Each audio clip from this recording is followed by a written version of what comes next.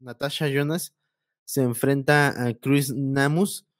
Eh, Natasha Jonas, que yo la recuerdo por su última pelea con Katie Taylor, y, es una peleadora zurda, pero se vio bien, ah, o sea, no hizo una mala presentación con, con Katie Taylor, creo que hasta cierto punto perdió con, con la frente en alto, y es una prospecto que estaban pintando ahí del Reino Unido para, para pelear este, eh, pues para que subiera ya de, nivel, ¿no? Y se enfrenta con esta eh, Chris Namus, que es este uruguaya, le dicen el bombón asesino. Y los récords de, de Chris Namus es 25 peleas, 8 knockouts y 6 derrotas, una derrota por knockout. De Natasha Jonas son 13 peleas, 10 victorias, 7 por knockouts, 2 derrotas y una por knockout y un empate. Eh, aquí lo que me impresiona más bien es la, edad de Natasha Jonas porque se ve mucho más joven y tiene 37 años y tiene un récord de, eh, pues muy corto boxístico. Creo que tiene ahí un, otro este, deporte que practicó anteriormente, si no me equivoco, creo que fue eh, entrenado kickboxing, pero este pues una pelea dura, una pelea dura para los dos. Eh, se ha mostrado bien Natasha Jonas en algunas peleas, como lo comentaba con Katie Taylor, sí se vio eh, disminuida por el nivel que tiene Katie Taylor, pero yo le doy aquí la ventaja a Natasha Jonas, creo que puede eh, hacerle la faena porque también se mueve bien en ángulos, boxea bien, es incómoda a su guardia y tiene pues un punch bastante decente. ¿Tú cómo ves esta pelea, Daniel? Sí, yo también, eh, la única ocasión en que, he visto a esta Natasha Jonas fue contra Katie Taylor. Sabemos que Katie Taylor pues eh, se vio superior a, Jonas en esa pelea, es una de las mejores peleadoras actualmente. Y sí, como bien dices, tiene 37 años, se ve mucho, mucho más joven. Y esta Chris Namus tiene 34 años. Su récord es pues es más grande que el de, el de Natasha Jonas.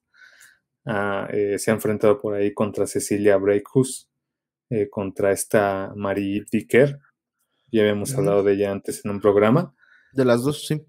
Y viene pues de una, viene de una derrota. Bueno, las dos vienen de una, una derrota. Y pues va a ser una pelea pues interesante. Eh, a ver qué nos muestran las dos. No he visto pelear a, a esta Chris Namus. Eh, así que no tengo realmente el background o, los fundamentos para dar aquí mi, opinión de qué tal pelea. Sí.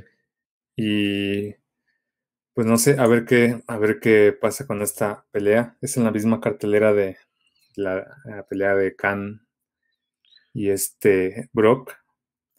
Y pues estén atentos a ella, a, la pelea. Esta Kristen ahí tiene un récord de pues 32 peleas, 25 ganadas, tiene solo 8 knockouts. Y pues no me quisiera arriesgar aquí a dar una, predicción, pero pues a ver qué este, a ver qué sorpresa nos da esta, esta pelea. Sí, a, mí la verdad, esta eh, Chris Namus, por lo que vi, porque tampoco he visto mucho, muchas de sus peleas, pero la que vi con Mari Dicker y algunos otros highlights, eh, se ve que es una peleadora que tiene empuje, que va a presionar a buscar la pelea. Eh, algo así como Miriam Gutiérrez, más o menos, algo de lo que hemos visto ahí en el boxeo femenil. Y, es de sangre caliente, pues, latinoamericana, pero sí me inclino eh, yo por la local. Imagínense, va a ser también local esta Natasha Jonas allá en Manchester.